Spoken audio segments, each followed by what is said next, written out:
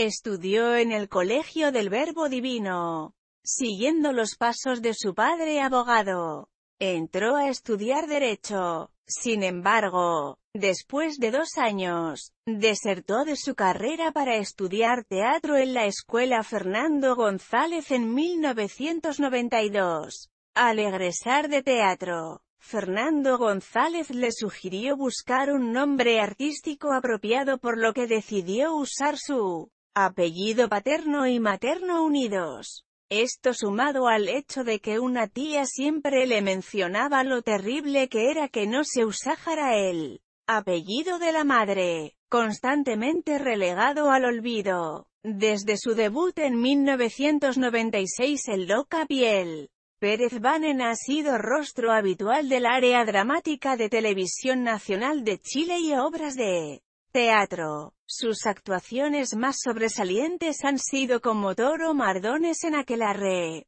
Jonathan Cara de Martillo en Amores de Mercado y como Benjamín Morandé en Alguien te mira. También ha participado en los filmes paréntesis, Padre Nuestro y Sexo con Amor. En 2012 protagonizó la teleserie Dama y Obrero e incursionó en la animación donde presentó el programa Improvisa o Muere. Luego de 17 años en el área dramática TVN, decidió emigrar al área dramática de Canal 13 con un contrato de dos años, donde actualmente desempeña el papel de Ramiro Opazo en Secretos en el Jardín.